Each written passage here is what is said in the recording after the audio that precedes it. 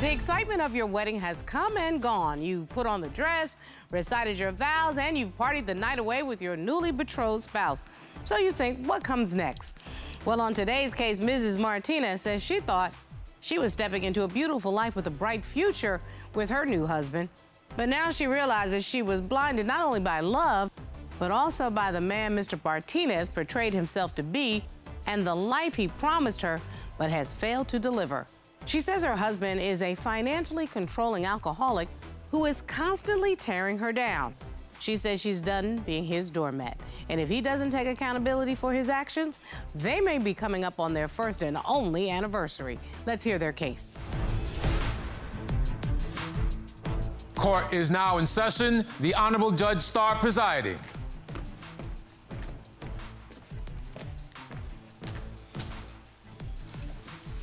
Your Honor, this is the case of Martinez versus Martinez. Thank you very much, Mrs. Martinez, Mr. Martinez.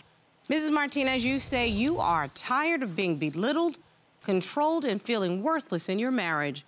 You say you are ready to divorce the defendant if he doesn't acknowledge the damage he's done to you and your family. Yes, Your Honor. And Mr. Martinez, you want your wife to understand that you have her best interest at heart.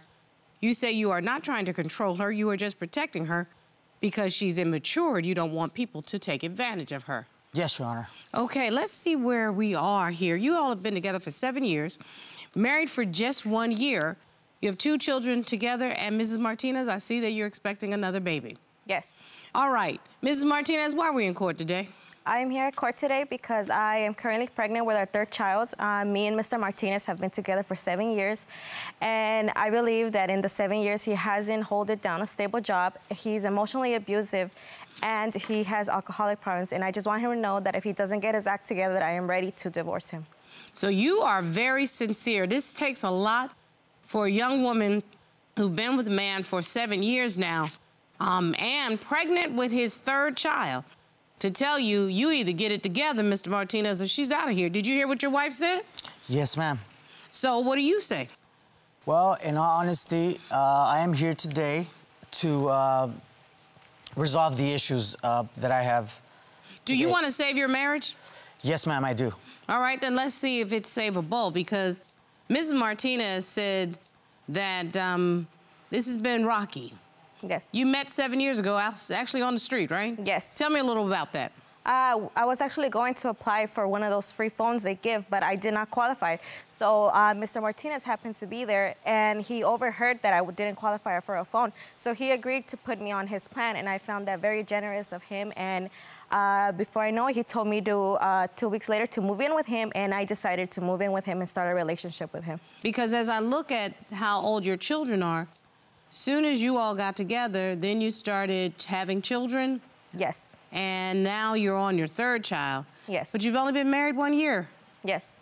Did things change after you got married, or was there problems before you were married? Uh, we had took a break when we had started uh, dating, and we had broken up. And then he contacts me through Facebook. I don't reply to him until like maybe a month later. I reply and I go to him, and that's how we started the, the arguments again. That this is how the accusation started. He started accusing me of cheating and not uh, being devoted to him. Mr. Martinez, I'm going to ask you the same question. Why were you so anxious to jump into a whole nother relationship? Honestly, I felt lonely. Uh, I had just broken up. Then I met her, my, my, you know, my wife. I thought she's nice. Why don't we give it a go? Y'all don't understand the concept of dating. I'm talking like, Yeah. Yes. just to see if you like that person. Get To know each other. Yeah. Y'all jump straight to living together, having a family, and married, and now looking at divorce. Because you didn't do the dating phase. Yes. But now, I know one of the issues you have a problem with, Mrs. Martinez, is this work situation, and you're concerned about your husband's inability to keep a job. Why don't you explain what the problem is? Uh, uh, over the seven years I've met him, he hasn't had a stable job. He gets jobs here and there from an agency, but they're not stable. They're like, they'll call him maybe every once a week. Actually, just recently, I helped him get a job at the 99 cent store. And that day, honestly, he just went there for four hours and didn't go back the next day because he said that he didn't like the way they were treating him. Wait a minute, he ain't been there for 20 minutes. How they treating him? He, he went there for one day for four hours. It's true. She did. She did help me get, get that job. Uh, What was the job? What were you going to be doing? I was a, a stocker, Mm-hmm. and they were training me to be a stocker. That day, uh, honestly, uh, I saw how, how everybody operated. I, be- she, I believe he quits jobs because he feels disrespected because he used to have his own business and he doesn't like taking orders from anybody. So I, I believe that's why he quits. You know, he finds any little detail to quit a job. I used to have a car dealership a long time ago. Uh, I started from the bottom, and that's what I, I know how to do. I had a little bit of savings, and um, I went through my savings, and I figured, you know, uh, I'm gonna take a little break. Look, You know what, Mr. Martinez? Not for nothing, Yeah. but I have two degrees and a good job. I can't afford to take a little break. I'm So- just tired of him, like, you know, not not working because of that. We've lost our apartment. They raised our they raised our rent, and we're currently living in a hotel right now. Mr. Martinez, here's my question. Were you being paid for those four hours that you were on the computer or whatever you were doing? Yes. The reason I'm I'm questioning you so tightly on this issue is because you're the one with two children at home Yes, ma'am. with another one on the way. And I don't know very many men that quit a job knowing that these are their obligations and knowing this is what they took on. So now you had to go home and tell your wife, I don't have the job. He says he's not a guppy like other people. That that's for suckers. That's not for him. Having a regular stable job. And you're talking about what the guppies are doing. Guess what? The guppies are eating. So how do you feel pride as a man telling your wife that you're not willing to hold down a quote nine to five because you don't want to be a guppy, you need to make big money. Sometimes when we fight, we're in the car and he starts calling me names. She threatens in the car going 50, 60 miles an hour Well, to if uh, you're in the car out. cursing her out and calling her names, I don't want to be in there with you. That only happened a, uh, a couple times. The one time you called me a slut or a hoe is the last time. Do you see what I'm saying? Because what you're not going to do is disrespect me.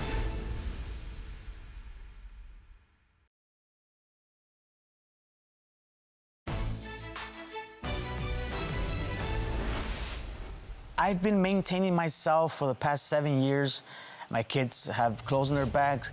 They've never suffered. They live in a hotel, day. sir. You don't have a stable place. Mrs. Martinez, is that a stable place for you to live in a hotel? No, that is not a stable How many rooms do you live in? It's a motel. It's just a room and a bathroom. How long have you been living in a hotel? We've been living in the hotel for about almost six, seven months. Is that satisfactory for you? I'm gonna ask you. Yeah. Well, Is that satisfactory? Is that what you want? no, ma'am. Well, the hotel has a kitchen. It's fully equipped. I mean, it's just not one. it- I mean, it's just not a room. Uh, it's it's just a place where you It don't want to sounds to like you got excuse after excuse. What's worrying me, He- he- Ms. what- Ms. Martinez talking about this alcohol problem. Yes, yes. He tends to drink, and when he drinks, he gets uh, he gets emotional. He gets verbally abusive with me. That's not true. Honestly, I do drink, and I'm not emotionally. Uh, He I- call- I don't. he I me a don't tatter slut. things. He calls me a slut. He calls me an HO. He calls me all kinds of names. That's pretty bad if that's accurate. I don't get drunk. I just get. You could say I get buzzed. One time but we I were, we don't were at drink the we were like at his uh, we were at his brother's uh, daughter's birthday, and I guess he had offered one of the one of the guys beer, and I guess his daughter had got upset because he was a recovered alcoholic, but he started fighting with me because I was telling him that you know why why would he offer them beer and everything. He got mad at me at home and started calling me names, and he was so mad that he. He ripped his finger apart and he had to like go get stitches and everything because of, of, of the drinking. Uh, there was a glass cup on uh, on one of the tables, and I was so mad. I I grabbed the cup and I just I squeezed the cup. So you broke a glass in your own hand. Yeah, I because uh, you were angry. I grabbed it, and honestly, karma got me pretty pretty fast because I actually split my. It was a pretty bad cut, and I had to go to the hospital and uh, get stitches. But again, your wife says that's what made her worried because that's not the behavior of somebody stable that she can uh, rely upon. sometimes when we fight, uh, we're in the car, and he starts calling me names. And uh, I decide to step out because, you know, I sometimes feel like I don't want to hear him call me names. And sometimes um, he just leaves me there. He That- just, he that's just not leaves, true, He just leaves me there stranded and that's not does, true. doesn't even. He calls me, but to call me names, he he doesn't call me to Your, worry Your- about. Your Honor, um, the times that I have left her, she, there's a godsend where she steps out of the car and threatens, even when I'm in the car going Thank 50, 60 miles an hour, she threatens to open the uh, the uh, door Well, to if uh, you're in jump the car out. cursing her out and calling her names, I don't want to be in there with you. You call her a slut, you call her a hoe. That, that that only happened a, a, a couple times. The one time you called me a slut or a hoe is the last time. Do you see what I'm saying? I Because what you're not going to do is disrespect me. If I'm your wife, I'm the mother of your children. Well, in my defense, Your Honor, she's done worse things than call me names, But and I that's don't- why I am, and that's why I do what I So do. So now we're getting to the real issue. I kind of feel stuck with him because he tells me, if you leave me, I don't want to see the kids because their mother is a cheating slut. I told her in a better way if that's what she really No, you didn't. You're lying to me. You called her a slut, you called her a hoe, and you said all those nasty things. Own it.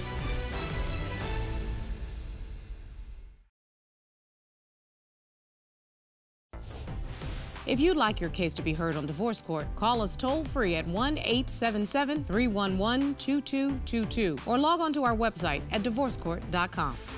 Missed a show? Watch full episodes on our streaming platforms and follow us on social media for exclusive content. I mean, I understand from my case file that you say you suspect that your wife was cheating on you. This is how it happened, Your Honor. I went to jail for almost less than a month over some warrants, some old warrant that I had and some tickets. And I come out of jail and she cheated on me with one of her coworkers. And you know this to be fact? Yes. Mrs. Martinez? Yes, I confessed to him because the manager had told him from the building that uh, some guy was coming over. And that time, yes, I did cheat on him. I was at work. I wasn't feeling good that day. I drank a couple beers. Uh, there was this guy there who was being nice to me. And she claims it was only one time. Yes, I did cheat on him. But I always told him he knows the truth. Why did he marry me? He decided to marry me after he knew I cheated on him. I've always he always brings that up to my face and everything, and I tell him, you know what? If you're not happy, you could leave. You and could really and that's leave. another thing, Your Honor. She always tells me, well, if you're not happy, just leave. I mean, like, 'cause like, oh, why, oh, yeah, why is I'm he just gonna, gonna be leave. emotionally abusing me if he's not happy? If he's not happy with who, who I am, if he knows what happened, why is he still there, like attacking me? Mrs. Martinez, I've never seen somebody look so unhappy right now. You look so unhappy and so beat down, like your spirit is gone. He's just tearing me down, and I, I just can't take it anymore. Ms. Martinez, do you have options? You live in a hotel with two children, one on the way. Literally could happen at any moment. Well, currently, Grandma, she's she's taking care of them while we get an apartment. Ms. Martinez, is this the life that you want for yourself and your children? No, I don't. What do you need to stay in this marriage? What do you need to hear? What do you need to see? Specifically, what do you want? I need to see him get get a job, or or if he or, or, or for him to be straight up with me that if he's not gonna change, that then I'll, I'll go. I told him that as soon as I give birth, I'm gonna go get a job because he tells me, "Don't worry, I'll go get one." But I'm about to give birth, and he, I don't see him doing any progress. Mr. Martinez, Mrs. Martinez is very clear. If you don't make a real change, and I'm not talking about you, him, and hawing, if you don't make a real change, she's out. Are you prepared to go and do what is necessary to sustain this family? Yes, ma'am. I, I Yes, kind of. I kind of feel stuck with him because you know he tells me if you leave me, I don't want to see the kids.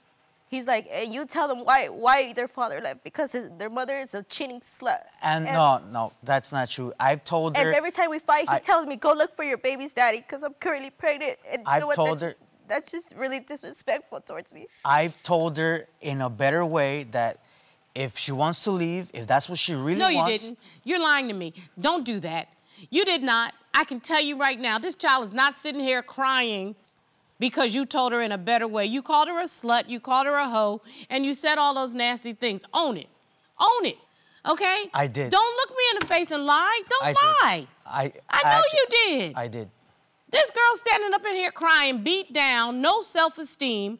I understand. Yes, she stepped out of your relationship while you were in jail. By the way, Your behind shouldn't have been in jail. I don't want to hear nothing about no warrants. I don't have no warrants. Robert, you got warrants? No. Thank you. You made some bad choices. And I She made a bad choice. She came to you as a woman and told you that she made a bad choice.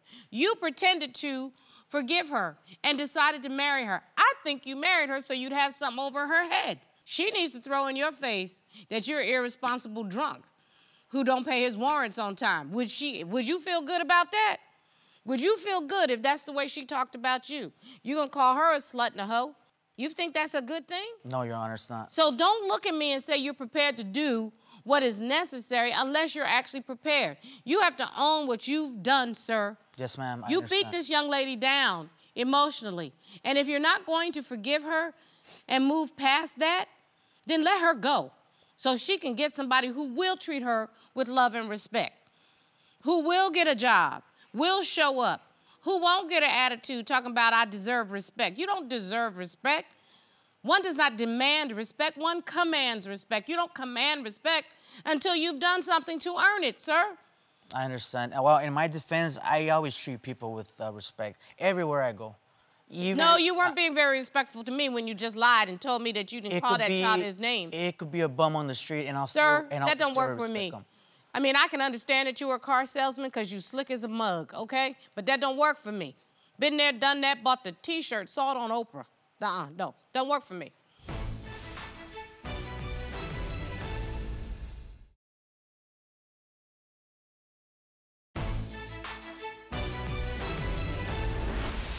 Mrs. Martinez, baby, do you want resources so that you can be on your own, or do you want to give this marriage a real try?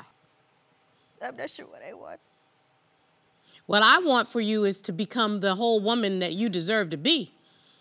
And I can't tell you for certain that this is the man that's going to give you that. It's time for us to give you some resources. My court staff will give you some additional resources to help you make decisions on your own if that's what you want. Even if that means you need some time by yourself and your children so that you can get your mind right.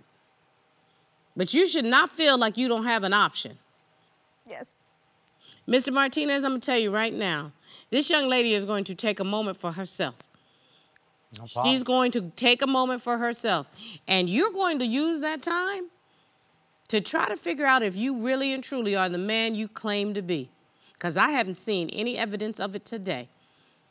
And the evidence will be, the proof will be in the pudding. Get a job, keep that job, and show her that you can be the husband and father. And let me tell you another thing you call her out of her name again, you have every right to tell him to take his pictures and his plants and get out of your house. Do you hear what I said? Yes. Stand up for yourself. Don't you lay down on the floor and be a doormat anymore. Take your name back, take yourself back, and grow some self esteem. It's time for you to be the woman you need to be.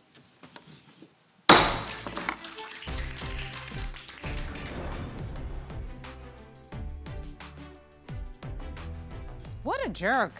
You know what? We've been, how many cases? Who knows what number? I'm pissed. I'm looking at her and I'm thinking to myself, if my daughter gets that agent, she deals with some guy like this, nah, it's not happening. You're gonna end up catching the case. Oh my God. I'll be, oh, I don't even know what to say. I know. I mean, I do not want you in a courtroom. I'm, other than when you're working, I'm just sitting here thinking to myself, this young lady has been so beat down by her self-esteem, Right.